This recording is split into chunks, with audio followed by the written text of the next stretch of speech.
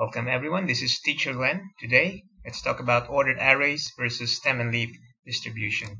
So by definition, the elements of an ordered array are arranged in ascending or descending order, and a stem and leaf plot is a simple kind of graph that is made out of the numbers themselves.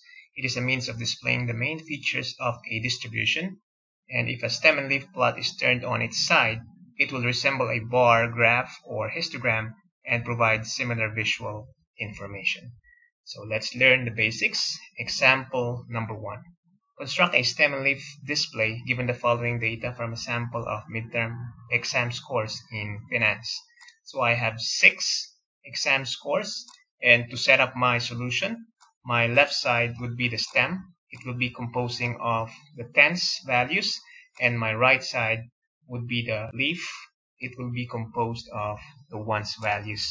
Now to start with my solution, I need to arrange this in an ascending or descending order. So to do that, highlight your scores, click on sort filter. Now since this is in a row arrangement, let's click on custom sort. Click continue, click sort and go to options. Now make sure that sort left to right is uh, clicked, then click OK. Then we are sorting row 7 so this is correct row 7 now I would like to arrange my data from smallest to largest then click OK. So as you can see this is already an ordered array arranged from lowest to highest and this is in ascending order. So the lowest score is 53 and the highest is 98 now to set up my stem and leaf, I know now that my stem starts from 5 to 9. So this is 5 and followed by 6, 7, 8 and 9 and let's fill up the right side the leaf. So I have 5 3 5 and 4 then I have 6 9 so this is 6 and this is 9 then 7 4 that's line of 7 so 7 4 then I have two line of 9 so that's 9 3 and 9 8 I don't have a line of 8 so that will be left blank. So as you can see, if I highlight this values,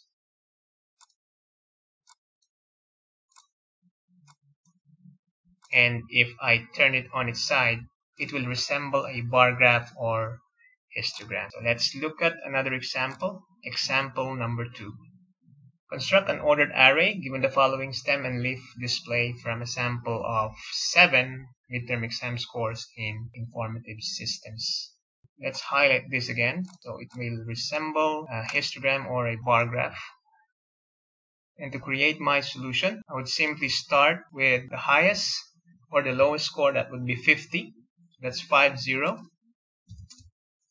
Followed by 7, 4, 7, 4. So that's 74 and 74. 76, 81, 89 and 92 so there you go my solution is already completed this is now in an ordered array let me just highlight my answer and this is in a stem and leaf distribution Another example, this is example number three. The following is a stem and leaf display representing the amount of gasoline purchased in gallons, It leaves in tens of gallons, for a sample of 25 cars that use a particular service station on the New Jersey Turnpike. So this is your stem and this is your leaf. And uh, I actually created a table for this information. The width of my class interval is 10 and I have a total of 5 class interval. So looking to it, its frequency, so from 9 to 99, this is 3. Let me just highlight that. And from 100 to 109 this is 5 from 110 to 119 this is 9 and from 120 to 129 I have 6 and from 130 to 139 I have 2 I also created the histogram for this uh, particular example and notice the similarity of the histogram and the stem and leaf distribution if this is turned on its side. So there you go. Feel free to comment to improve the discussion of this video lecture. And once again, thank you for watching.